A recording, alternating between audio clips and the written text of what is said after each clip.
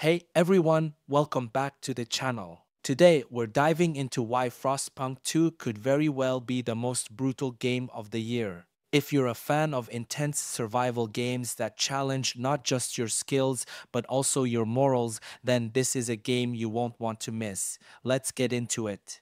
So, what makes Frostpunk 2 stand out as a contender for the most brutal game of the year? First off, let's talk about survival mechanics. The original Frostpunk was notorious for forcing players to make impossible choices. Do you save your people at the cost of your humanity, or do you stick to your morals and risk everyone's lives?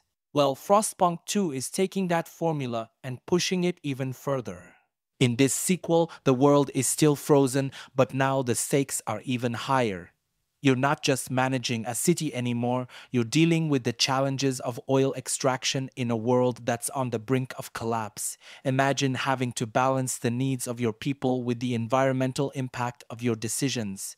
Do you push for more oil to keep your city warm, knowing it could lead to disaster? These are the kinds of moral dilemmas that will keep you up at night. But it's not just about making tough choices. The gameplay itself is going to push you to your limits. Frostpunk 2 introduces new layers of strategy that make every decision critical. The game's developers have emphasized that they want to challenge players in ways they've never experienced before. You'll be managing not just resources, but also the complex social dynamics within your city. Different factions will have different agendas, and you'll have to navigate these conflicts while keeping your city from falling apart. And let's not forget the atmosphere. Frostpunk 2 builds on the haunting, frozen world of the original with even more detailed environments and a deeper, more immersive experience.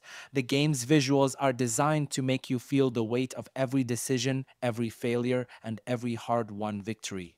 So why is Frostpunk 2 the most brutal game of the year? Because it doesn't just test your gaming skills, it tests your resolve, your morals, and your ability to lead in the face of unimaginable adversity. If you think you've got what it takes to survive this frozen hell, then this is the game for you. If you're as excited about Frostpunk 2 as I am, make sure to hit that subscribe button and stay tuned for more updates, tips, and gameplay as we get closer to release day. Thanks for watching, and I'll see you in the next video.